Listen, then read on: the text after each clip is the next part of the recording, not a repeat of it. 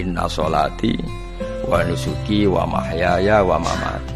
Kue urip yo ora roh sebabe. Saiki sampean tak takoki kena apa umur mung nganti 40 tahun kue roh sebabe? Ora roh. Kue aja anut dokter anut wong-wong. Kita hidup karena kita sehat. Kalau anda sehat terus hidup kenapa anda bisa menentukan durasinya? Kesehatan begini itu bertahannya berapa kan yo ora iso jelas no Wong kerja sehat kerja urip. Omongan kok ngono. Pokoke lah ya setelah sehat itu durasinya? Kalau Anda pinter kan harusnya bisa ngitung. Ternyata kita tidak pernah tahu kan kenapa ada yang hidup 90 tahun, ada yang 40. Jadi walhasil kita urip yo ora sebabe, kita mati yo ora sebabe. Namung roh kabeh ku lillahi rabbil alamin. La syari kala.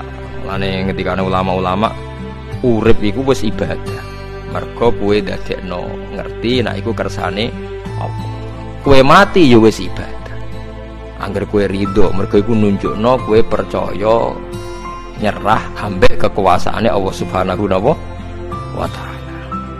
Tapi nak urip pemprotes be Allah matimu protes kue termasuk wong sing dihitabi Allah kue aja mengerakno aku aja manggon langit bumiku. Malam yardo bikodoi walam yasbir ala balai falyatub robban siwai wal yakhruj min tahti ardi wasamai wong sing setuju keputusanku ngendikane pangeran ojo nganggep aku pangeran ojo manggon bumiku ojo manggon langitku. Lara gawe manggon di diusir presiden kayak cek iso ngomong bumi sapa ngusir-ngusir? Padha ra melok gawe nah, diusir pangeran